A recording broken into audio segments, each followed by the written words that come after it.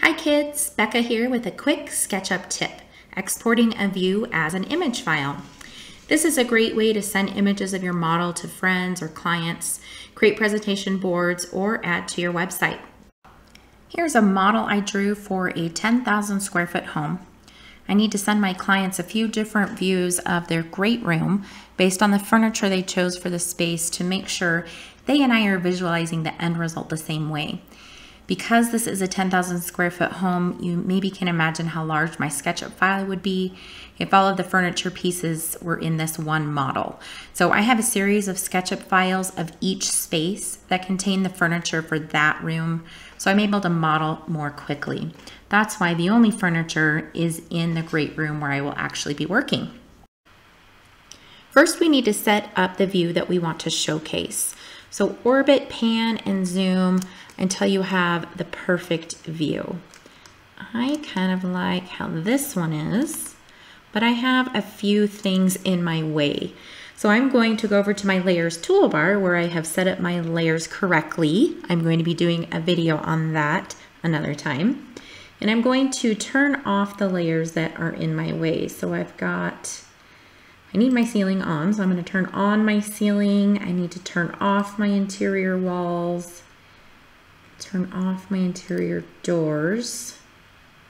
I think I'll get rid of my stairs too.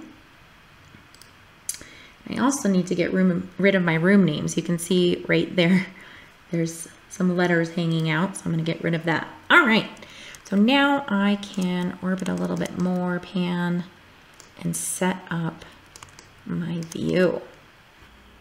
So at this point, please keep in mind that everything in your modeling window will be exported to the image file, even if there are toolbars in the way, such as the default tray.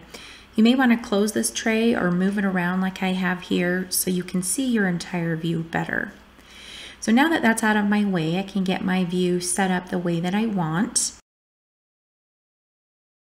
But once that is set up, go to your scenes toolbar in the default tray and create a scene by clicking the plus sign.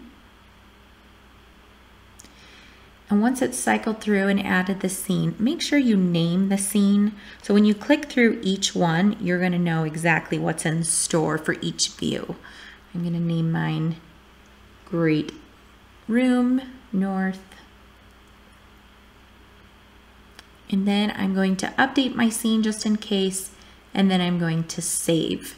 So if you don't know Control S yet for save, Control S is one of your best friends. There are a couple of best friends in here in SketchUp and one of them is save. I'm going to do another view and create a new scene. I'm going to do a bird's eye view. So I'm getting into top view. I'm turning off my ceiling so I can see through it here. I'm going to add a new scene. I can do that in the default tray or I can actually use one of the scene tabs. I can right click or context click and choose add and then go back to my scenes toolbar and rename it. Update my scene, generates through, and then save again. So now we can correctly export an image. The first export I want to do is from the Great Room North scene. So I'll click that tab. You go to the File menu, choose Export 2D Graphic.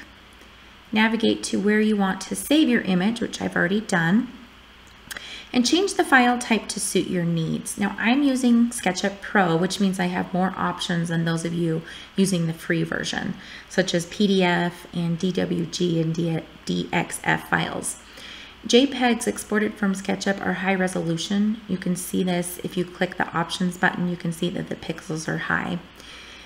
I'm happy with JPEG. If I wanted to use it on the web, I would choose PNG, but I'm going to keep it as a JPEG. Name the file appropriately. I'm naming mine Great Room North View because that's what it is. And then we wait for it to export.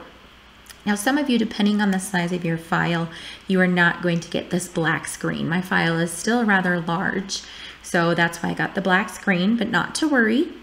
I can go to where I saved and sure enough it's there. And now I need to crop it. You can open this with Photoshop if you know Photoshop or Paint.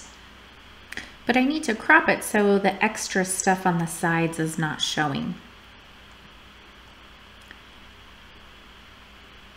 You can use the select tool to draw a rectangle over what you want to keep in Paint. Then click crop and then save. To close out of Paint and open this image file in Windows Viewer so I can get a nice view of how it will look. Voila, a beautiful image to give to my clients or even put on my website. So I'm going to finish making scenes and exporting images. And while I'm doing that, click to subscribe below to see more quick tips like this one.